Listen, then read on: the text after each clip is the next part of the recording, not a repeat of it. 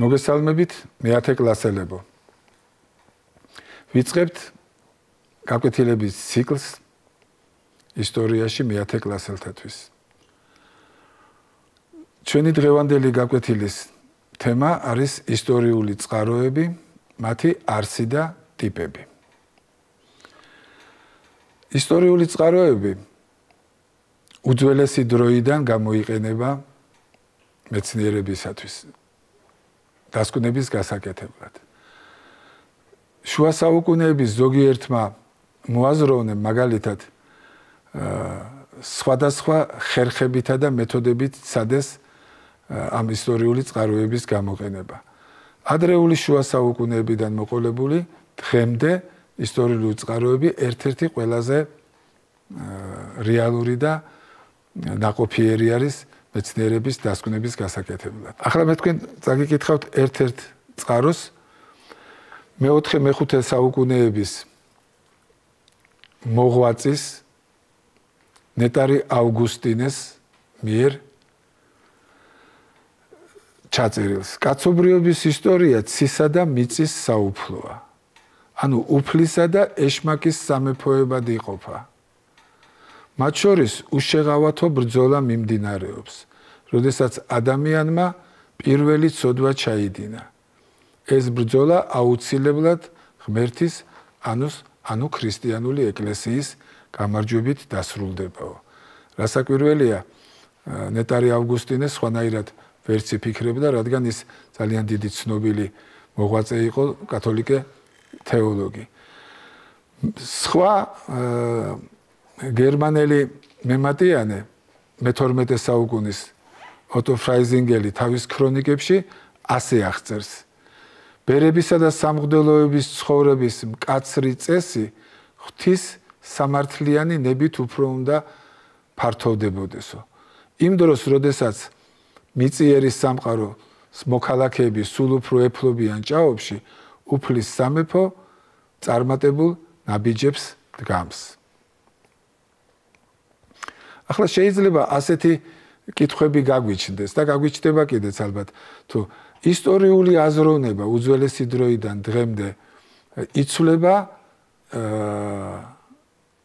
თუ ისევ იმ ტენდენციებს ამჟღავნებს. არის თუ არა განსხვავდება ნეტარი ავგუსტინესა და სხვა ჩემს მიერ ნახსენებ მოღვაწეებს შორის. როგორ ვითარდება და როგორ იკურევს გზას ეს მეცნიერება, რომელიც დამყარებული არის წყაროებზე. მაგალითად, ჩვენთვის ყველასთვის კარგად ნაცნობი და ასე ვთქვათ სრული ქართლის ცხოვრება, კრებული ქართლის ცხოვრება, რომელიც შეიქმნა შუა საუკუნეებში და გზადაგზა შემდეგ მას ემატებოდა სხვადასხვა ნაშრომები ფართოვდებოდა, იცვლებოდა და ივსებოდა. პირველი კრებული ქართლის ცხოვრებაში მე-9 საუკუნით არის დათარიღებული ქართლის მოქცევის ქრონიკა, რომელიც რომელშიც თავმოყრილია ქვეყნის ისტორია და ლეონტი მროველის მეფეთა ამბავი. ჩვენ ძალიან ბევრი რამ ამ წყაროდან ვიცით.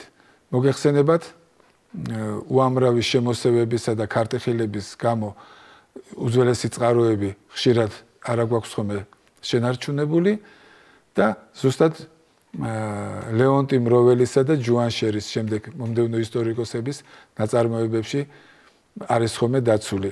რასაკვირველია იმ იმედით რომ მათ ქონდათ ზუსტად ის წყაროები, რომლებიც ჩვენ რომლებაც ჩვენამდე ვერ მოაღწიეს. ამას შემდეგ მოყვება დავით აღმაშენებლისა და თამარ მეფის ეპოქის ისტორიკოსები, რომლებიც აი როგორც პირველადი წყაროს ავტორები, როგორც თვითმხილველები ისე აღწერენ ამ მეფის ამ პერიოდის საქართველოსა და ჩვენს მე გარშემო მყოფი საზოგადოების ისტორიას და ამით არიან საინტერესო. მოგვიანებით გიორგი ბწყინვალის მეფობის დროს უცნობმა ავტორმა, რომელსაც მიიჩნევენ ერთ-ერთ ყველაზე კრიტიკულ და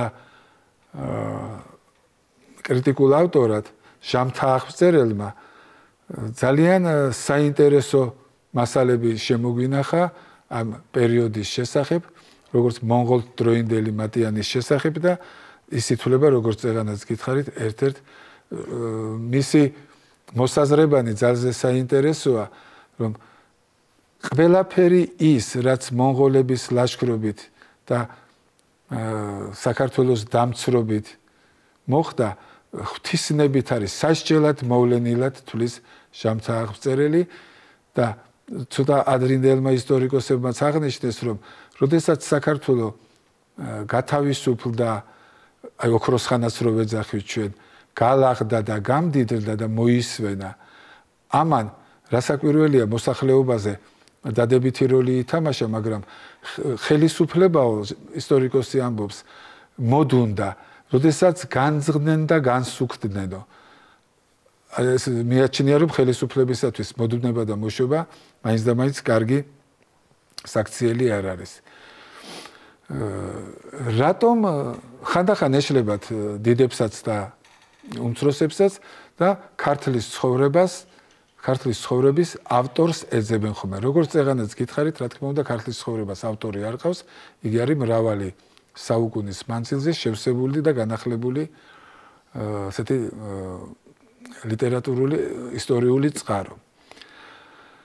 გარდა ქართული საისტორიო წყაროებისა, საქართველოსში არის საქართველოს შესახებ არის უცხოური წყაროებიც. აი მაგალითად, რას წერენ უცხოელები და ვინ რა შეფასებას აძლევს საქართველოს. ძალიან საინტერესოა ზოგადად რომ ავიღოთ ბიზანტიელი და სომეხი ისტორიკოსები. მე რამდენიმეს ჩამოგითვლით ლაზარ პარფეცი არის და მოვსეს ხორენაცი ეს სომეხი ისტორიკოსები მათეო სურხაეცი ვარდენ არველაცი და სხვები. ძალიან საინტერესო მასალებს ინახავენ არაბი ისტორიკოსები ტაბარი ალფარიკი იბნ ალასერი შემდეგ სპარსელები თურქები და ასე შემდეგ. გარდა ამ ისტორიული წმინდა ისტორიული ნაშრომებისა შემორჩენილია აგრეთვე გეოგრაფიული სახის თხზულებები. ანტიკური ხანიდან მოყოლებული გვიან შუა საუკუნეებამდე. ძალიან საინტერესო არიან ბერძენი ისტორიკოსები და გეოგრაფები როგორც ვიცით ჩვენ ერთ-ერთი ყველაზე უძველესი არის სტრაბონი რომელსაც აღწერილი აქვს ქართლის მოსახლეობა 1000 წლეულთა მიჯნაზე, ძველი წელთაღრიცხვისა და ახალი წელთაღრიცხვის და აღწერს პომპეუსის ლაშქრობის დეტალებს ქართლში და მეფე არტაგის მიერ ბრძოლის მეთოდებს. ამის გარდა როგორც გითხარით, არაბი და ქართული და ქართველი ისტორიკოსებიც არიან, გეოგრაფები და ისტორიკოსები, რომლებიც ამ პერიოდს აღადგენენ მომავალი თაობებისათვის. ისტორიული წყაროები არის მრავალფეროვანი. ჩვენ ვიცით რომ პირველად პირველი რასაც ადამიანი ეხება და ყველაფერი ის რაც შემდეგ დამარხულია მიწაში და გამომზეურდება ხოლმე არის გამოყენებული ისტორიულ წყაროდ. ძალიან საინტერესოა ამ ხრივ ჩვენთვის ყველასთვის საინტერესო არქეოლოგია, რომელმაც შეიძლება ვთქვათ, რომ არნახულ წარმატებებს მიაღწია მე-20 საუკუნის მეორე ნახევარში 60-70-იან წლებში და ის რაცაც ჩვენ ვნახულობთ ახლა და ვამაყობთ ხშირად ეროვნულ მუზეუმში იქნება მცხეთისა თუ სხვა მუზეუმებში, ხელოვნების მუზეუმში ეს ყველაფერი თითქმის ყველაფერი აღმოჩენილი არის აი ამ პერიოდში რომლის ამ არქეოლოგიის მამამთავარიც რასაკვირველია უშუალოდ არქეოლოგია შეიძლება არა ცოტა ადრე დაიწყო. დიმიტრი ბაქრაძე ნუ ილია ჭავჭავაძის თაოსნობითაც მოხდა ეს მაგრამ ივანე ჯავახიშვილმა ასეთ სამეცნიერო საფუძველზე აიყვანა არქეოლოგია და ზუსტად ჩვენთვის ყველასთვის კარგად ცნობილი არმაზის ხევის გათხრები სადაც ცნობილი სერაფიტას საფლავის სამარე სარკოფაგი არის აღმოჩენილი, ზუსტად იმ პერიოდში მოხდა ივანე ჯავახიშვილი უშუალოდ ესწრებოდა ამ გათხრებს.